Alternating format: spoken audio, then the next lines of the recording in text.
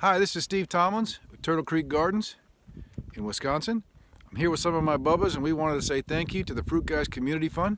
Your small grant made a big impact on our farm. Thank you.